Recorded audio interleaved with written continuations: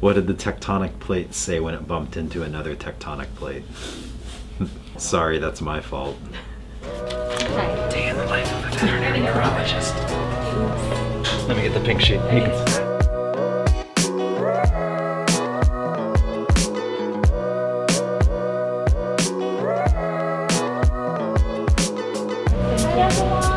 Hello, how are you? I am alright. I am ready.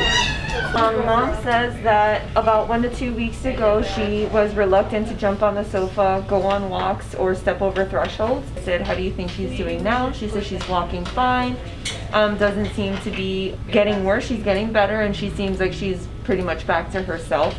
But mom said she just brought her in to make sure that there's no underlying causes for Okie what dokie. happened. So let's go see Sophia. We're already in the back. Hey, cutie.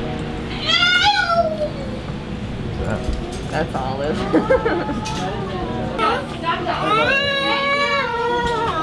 Hello.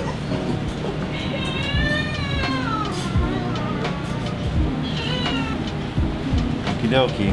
Go in your house. Thank you very much. Woke up early this morning. So I'm gonna go get some of my my minutes in. I accidentally slept with my watch on, but like I got up at like 5:30. I'm like, okay, I'm gonna plug in my watch. And at 6:30, when the lights come up, I'll go to the tennis court. Not actually hit balls, but like run around as if I'm playing. The plug wasn't plugged into the wall when I put it on, so I actually struggled struggled with that. I'm like, like, well, I'm not getting any credit for this. Should I go home?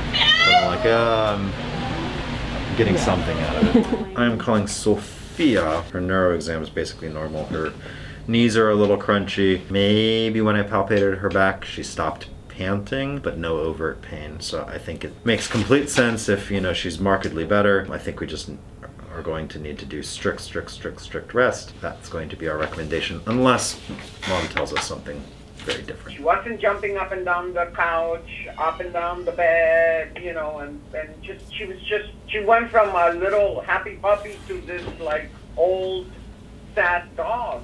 She's beginning to do better.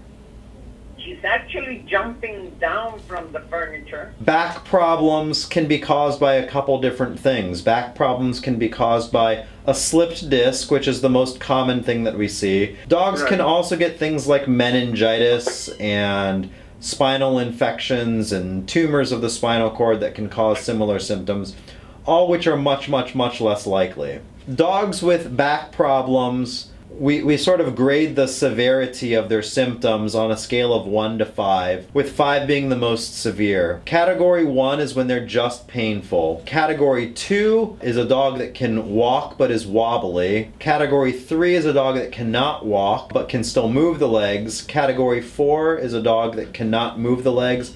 And category 5 cannot even feel the legs. Where, where Sophia is right now is, is a category 1 assuming that this is a back problem. So when when they're exclusively showing signs of back pain, not showing wobbliness or difficulty walking, and when it's their first time and when symptoms are getting better, the recommendation would be to do exactly what Dr. Cuevas did. Medications but the one thing that I would add to the medications would be strict, strict rest. So when I see things like we were on medications, but we would still jump off of the couch, or some days were good and some days were, you know, we're, we're, we're wanting to jump off of things. The reason that I get worried about that is that if this is a slipped disc, right now she's a category one, but sort of jumping off of things can cause more disc material to herniate and can cause can cause her to become a category two or three or four or five where where now she is having difficulty walking. So the most important thing that we can be doing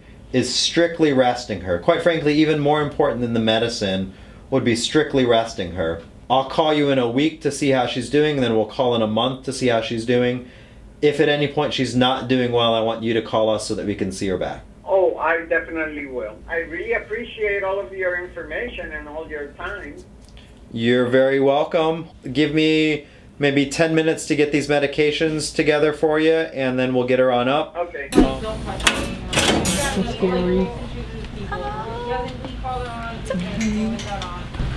The bladder watch So, that we probably there's witnessed Low head carriage, you're urinating Psychotic being posture, outside, nothing like, to let's say work on that four much. days, you're no crying, like, screaming, anything like that. It's not Well, seem- okay, so just recently was out with it, even though you have the tail. I agree. I think it's his neck that hurts. Um, Oh wait, watch your back. yes, please. Right on the.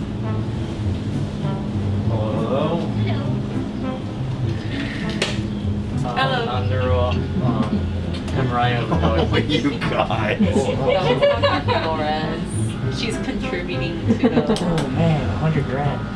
making our hearts happy. I was I was just using a lot. Today at the bank, an old lady asked me to help check her balance, so I pushed her over. when I was in college, I used to live on a houseboat and started dating the girl next door. Eventually, we drifted apart. So, this is Celeste. She has a problem with her left facial nerve. The facial nerve is responsible for um, muscles of facial expression or moving the blinking, things like pricking the ears up, things like smiling. Should we should we just move? so this is Celeste. She uh, is presenting for left facial nerve paralysis. Her owner noticed that the left eye was a little red and noticed that the face was drooping. So if we look here, we can see her her lip here on the left side is drooping, whereas the right side is more pulled back. The facial nerve is responsible for muscles of facial expression, so sort of moving the ear around, lifting the eyebrows, closing the eyelids, uh, pulling the, the jowls back. So when we have facial nerve paralysis, the thing that we notice is there's no blinking on the left side, whereas on the right side she does. You can get the sense that she still can pull the eye back and that third eyelid will come up, but even if I touch the skin next to her eye, she's not able to blink there, but she is able to blink on this side. Um, she's still able to feel her face, so it's not that she can't feel it, it's that she can't move it. Causes of facial nerve paralysis. The most common thing that we see is idiopathic facial nerve paralysis. Um, in French Bulldogs, we worry a lot about uh, deep ear infections, so middle and inner ear infections. That's what our, our working diagnosis is for her.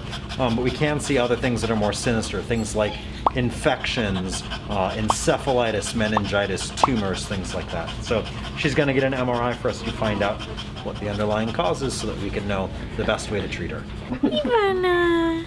She's so How's she doing? Uh, she's doing great. No real changes.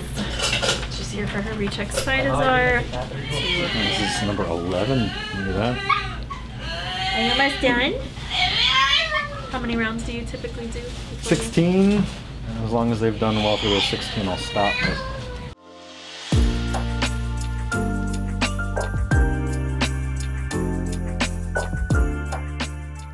Hello? Hello. Hey. Uh, take a peek in the brain. It looks Okay. Looks a little squishy up there already. Thank you. You're welcome. Dogs with neck pain. Most of the time, it's classic stuff.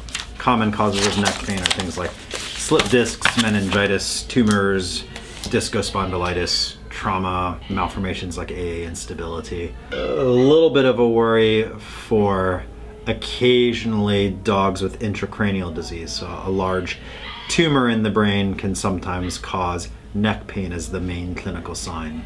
So far, again, we just have the first sagittal image, but the spinal cord, the discs all look really good. There's a little bit of hyperintensity within the spinal cord here, but when I start to see um, a syrinx or pre-syrinx or hyperintensity within the cord, I kind of look towards the brain um, to see is there anything upstream. The cerebellum here just to me looks a little bit, it should be nice and round, but it looks like it's sort of compressed at the rostral aspect and maybe a little bit of foramen magnum herniation.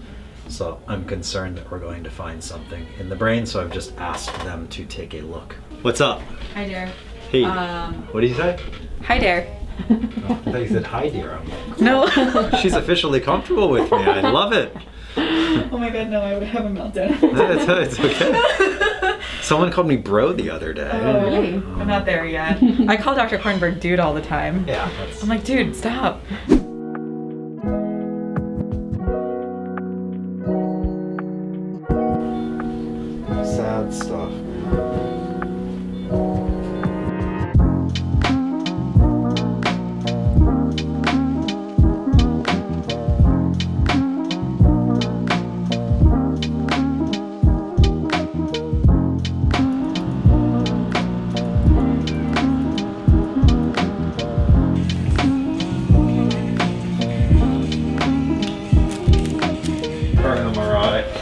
Otitis media interna.